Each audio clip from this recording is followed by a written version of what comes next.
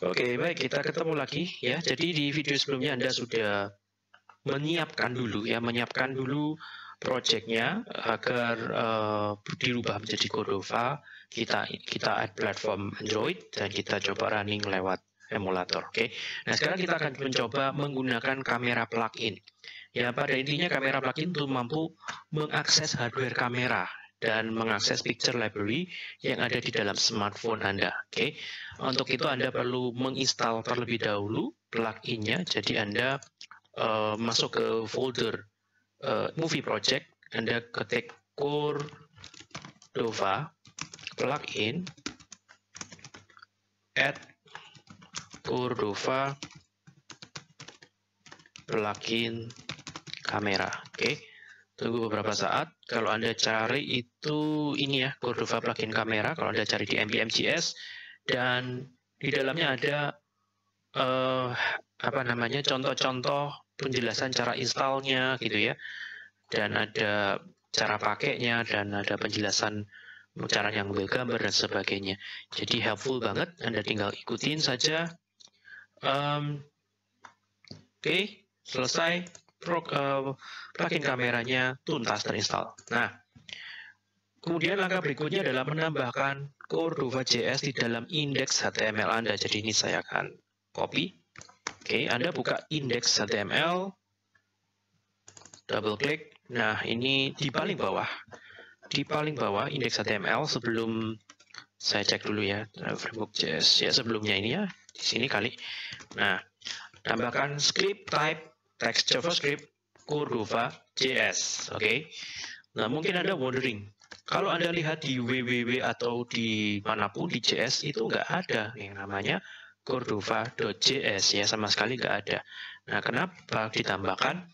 Karena Cordova JS ini akan otomatis diproduksi, di generate pada saat runtime, pada saat kita build, kita run. Untuk Cordova JS ini secara khusus merupakan JavaScript yang digunakan untuk menghandle API plugin, menghandle uh, sebagai jembatan dengan plugin-plugin yang uh, gunanya untuk mengakses hardware dari smartphone kita ya.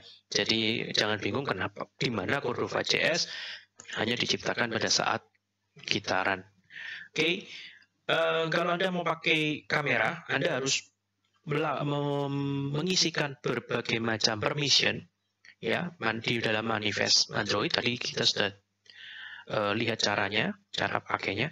Ya pertama adalah anda tambahkan permission kamera kedua uh, hardware kamera. Kemudian uh, ketiga adalah permission untuk buat uh, file membuat file ke dalam hard drive smartphone Anda. Jadi ini Anda buka lagi yang namanya uh, manifest, masuk ke platform Android, uh, app, src, main, Android manifest, ya ini ya dibuka double klik dan Anda taruh di, di paling atas ya tidak masalah ya users permissions Android permission camera users features Android hardware camera users permissions Android permission write external storage. Itu yang perlu kita tambahkan. Oke, selanjutnya untuk dokumentasi lengkap tentang cara penggunaan kamera plugin ada di npm.js atau di GitHub karena ada banyak ya fitur-fitur kamera plugin yang bisa Anda manfaatkan. Oke. Misalkan apa? Saya mau jepret pakai kamera selfie, saya mau jepret pakai kamera belakang, saya mau matikan autofokusnya, saya mau menerangkan gambarnya, itu ada semua. Oke. Okay? Nah, di sini kita mau coba ya menangkap gambar menggunakan kamera plugin ini. Oleh karena itu tambahkan sebuah eh, apa namanya tempat atau button untuk eh, mengambil gambar. Button sekaligus tempatnya. Jadi kalau Anda lihat di HTML ini ada IMG di sini. IMG poster pic. Ada SRC yang dikosongin. Ini gunanya untuk menampung gambar yang ditangkap lewat button ambil foto ini. Ini saya akan copy, lalu saya akan buka edit movie HTML di www uh, edit movie HTML. Saya cek dulu di bawahnya homepage overview. Oke, okay, di sini ya. Ada LI ya, LI buka, LI tutup. Nah, di sini Ctrl V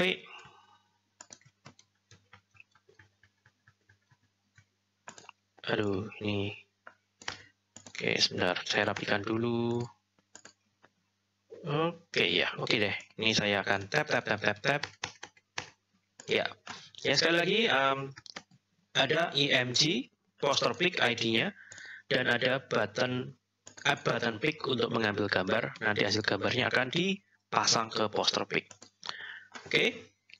Kode program untuk menjalankan kamera smartphone adalah navigator.camera get picture dan ada tiga, uh, dua callback function. On success akan dipanggil, fungsi on success akan dipanggil, kalau sukses on fail akan dipanggil, kalau fail gagal ya. Options itu ada macam-macam konfigurasi yang bisa kita kirimkan untuk mengatur pengambilan gambar. Oke, kita akan um, mengcopy ini ya, pembuatan pick ini. Uh, di mana ada copy ini nanti itu Anda letakkan di app.js di edit movie yang pasti. Jadi Anda coba search dulu edit movie. Nah, ini dia. Edit movie di dalam sini entah di mana terserah mau di bawah di atas terserah saya akan laku letakkan di atas saja di sini ya Ctrl V nah mari perhatikan programnya. Saya jelaskan satu persatu. Um, oke ini sepertinya ada sebentar ya saya cek dulu saya cek dulu. Oke ini pertama ini bla bla blanya ini anda hapus dulu ya. Bla blanya anda hapus dulu. Ya. Nah Uh, karena Playbook 7 di sini menggunakan single dollar, ya, single dollar, maka di sini kita hapus dolarnya diganti satu. Program ini maksudnya adalah dia mendengarkan button pick-nya ketika diklik ya. Apabila button pick pick-nya diklik, maka panggil navigator uh, get picture untuk menjalankan akses ke kamera hardware uh, ke kamera aplikasi kamera di smartphone Anda dan uh, akan ada function on success Anda bisa lihat di bawah yang akan dipanggil kalau pengambilan gambarnya sukses dan kan function on fail yang akan dipanggil apabila fail.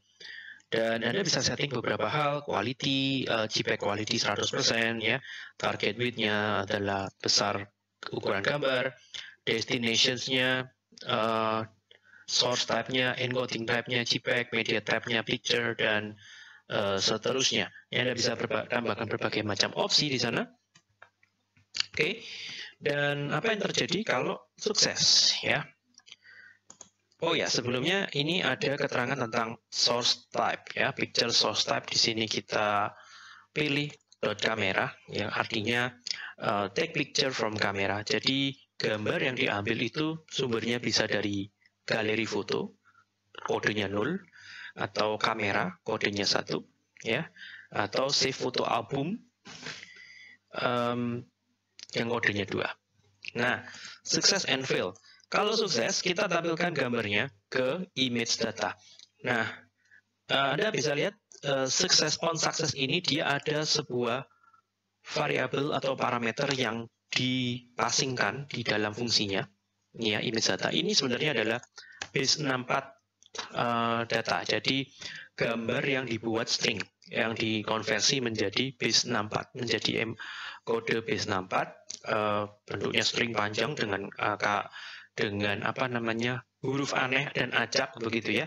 Dan biasanya uh, kita bisa lempar ke suatu platform untuk dirender menjadi gambar. Contohnya kita lempar ke browser, maka kita bisa gunakan perintah khusus untuk merender uh, string base64 ini menjadi gambar. Jadi hasilnya base64 ini kita langsung render ke dalam poster pick ya ke dalam source-nya poster pick. Oke, jadi uh, source-nya poster pick ini selain file Anda bisa gunakan uh, base64. Hati-hati ketika copy paste ini petik tunggalnya diperbaiki dulu Oke okay, ya, selesai.